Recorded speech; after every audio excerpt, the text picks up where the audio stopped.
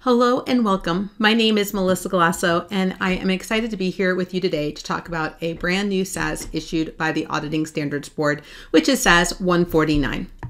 Now, SAS 149, which is titled Audit of Group Financial Statements, including the work of component auditors and audits of referred to auditors. So you'll notice right off the bat that we have a new term and a new title. Uh, so group audits is getting a little bit of an update. Now, this is part of the larger convergence project with the IAASB. The IAASB already approved their ISA 600 uh, back in December of 2021, and it is scheduled to be effective for periods beginning on or after December 15, 2023. So as we look at this, um, this is is something that we have been expecting uh, from the uh, AICPA because their goal is convergence with the IAASB. In fact, we had several people sit on the IAASB project related to group audits. And so we're going to have a couple of things to talk about. First off, as I mentioned, we have a bunch of definitions. Some are new, some are revised. So let's start with referred to auditor. This is a new definition. This is something we have not had previously, um, but this is very important. Uh, this really has to do with SAS 146, uh, as well as the new quality management standard, and to differentiate who is part of the engagement team and who is not. And so a referred to auditor is an auditor who performs an audit of the financial statements of a component to which the group engagement partner determines to make reference in the auditor's report on the group financial statements.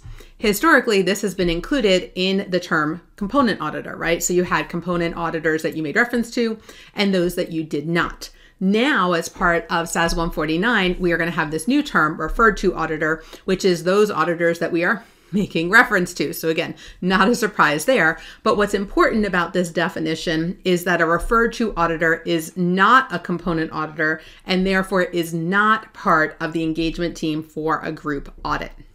This was very important when they were trying to determine the quality management standards as to who was part of the engagement team. Uh, and so they really wanted to make sure they differentiated as to these, you know, different types of people who are assisting us.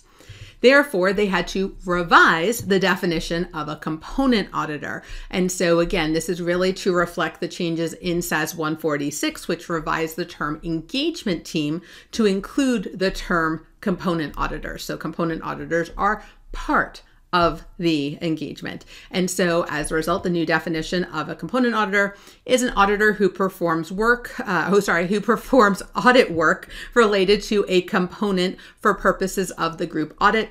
And a component auditor is part of the engagement team for a group audit, right? So this is intended to improve audit quality, right? The group engagement partner is taking that responsibility for the direction and supervision of the component auditor. They're responsible for reviewing their work, just like any other member of the engagement team. So this was very needed uh, to help comply with SAS 146. Uh, and so they kind of um, separate out these two different concepts. And so um, I think this will also be a lot easier because oftentimes people tell me, "Oh, I, you know, I'm making reference to them. It's not a group audit." I was like, no, no, you can make reference to them and still be as part of a group audit, right? So now I think this is a little bit clearer as to when we use the term component auditor, what exactly are we trying to get at? Another definition that's really important in this standard is aggregation risk. Why do we have group audits? Well, that is because we are combining multiple entities. Now, it could be through consolidation, right? Taking multiple entities and consolidating them. It could be through combining them, or it could be as simple as aggregating different business units, et cetera, uh, including equity method investments. And so, as a result, the definition of aggregation risk is the probability that the aggregate of uncorrected and undetected misstatements exceed materiality for the financial statements as a whole. Uh, and so, I think this is very important. The goal of this is to say, hey, I really want to, when I add all of these different things up, um, not have a problem. And so making sure that we are um, disaggregating to the point where we have acceptable uh, evidence. And so this was something that was the whole point of having group audits way back uh, when we first started with this, uh, back in the clarity standards, really, where we had the introduction of group audits And even then, there was a lot of confusion over what was a group audit, right? And it didn't have to be a parent sub. It didn't have to have another auditor, right? You could have an engagement team, right? Uh, and just be a different office, or it could be, right? And so it was very confusing when we first rolled this out. Um, I remember rolling out the clarity standards, working in a national office and trying to make sure everyone really understood them.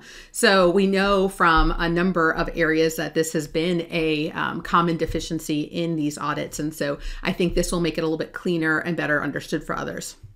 Uh, in addition to the terminology changes, though, there are also other changes. And probably the biggest one out there is the change towards what we call a risk based approach. So, extant uh, AUC Section 600 really required the group engagement team to perform um, uh, work, uh, audit work on what they called a significant component. So, you literally had three levels of components, uh, and they said for these, you can just do analytical procedures. But for these, you have to do audit procedures. And it was predetermined by the standard. It really wasn't something that you had a lot of flexibility in.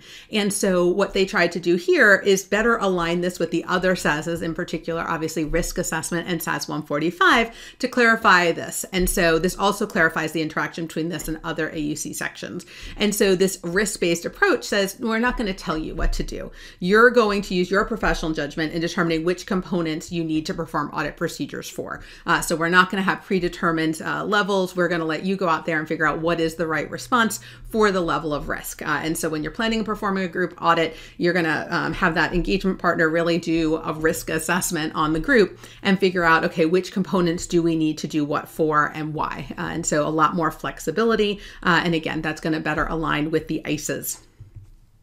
Equity method investments are probably one of the more interesting areas. A lot of people really didn't understand uh, the fact that if you had an equity uh, equity method investment, by definition, you had a group audit. Always blew people's mind when I'm like, actually, this is not not applicable you have a group audit because you have an equity method investment. Uh, and so this is going to identify uh, the procedures that the group auditor is required to perform uh, when you have these equity method investments. And so it's going to go through and basically say, okay, you need to read these financial statements.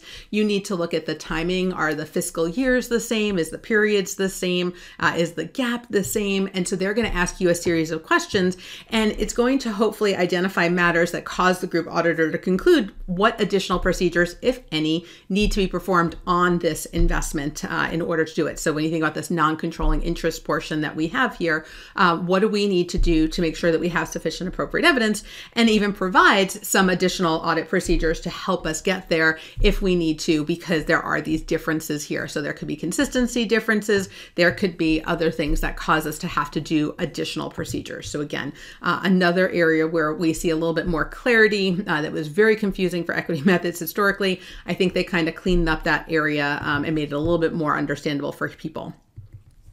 And then for those of you who do single audits, I am a huge fan of this change. Um, I really feel like they've given AUC Section 935 just a little bit more love lately. Uh, we've seen this in SAS 148, the standard prior to this one, uh, really trying to make sure that when we have these standards, right, a group auditor has group financial statements. And it's very hard to apply AUC Section 600 to a uh, single audit.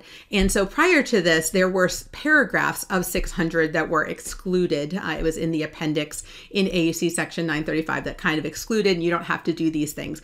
But even when those paragraphs were excluded, it was very complicated. How do you apply 600 to a group audit?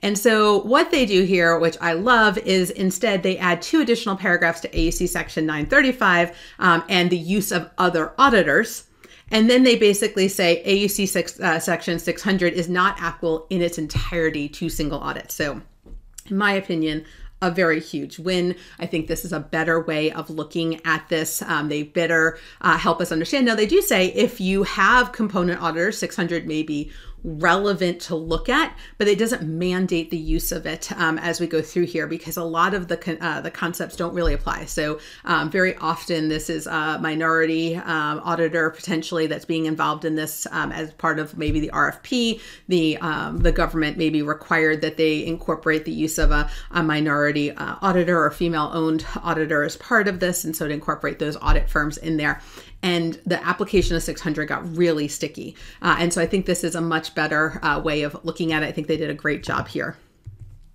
So, when will this be effective? It is for audits of group financial statements for periods ending on or after December 15, 2026. So, we have a little bit of runway here, um, but I do think that it is a standard that we will see some early adoption for. Uh, and while they were at it, because again, uh, lots going on uh, in the standard, they needed to make conforming amendments to SQMS number three. Um, so, or actually, they created SQMS number three to make conforming amendments to the QM sections 10 and 20, uh, because when they did this, obviously the new language that needs to be incorporated, uh, and they also added some uh, differentiation between what is a resource and what is an information source. And so, I think this will be um, a little bit easier to apply. So, so um, SQMS number three, brand new as part of this, updating the firm uh, system of quality management and engagement quality reviews to use this new language about component auditors and really uh, differentiating between component auditors and referred to auditors uh, and better uh, aligning that. So again, uh, SQMS number three, however, will be effective with the, uh, the QM sections 10 and 20. So again, we have some time before those are effective as well. All right, so that is a wrap on our brand new SAS. Hopefully, this helps you better understand some of the changes that are coming to our audit engagements. Thank you guys so much for joining me, and I hope to see you on a future Nano Learning. Have a great day, guys. Bye bye.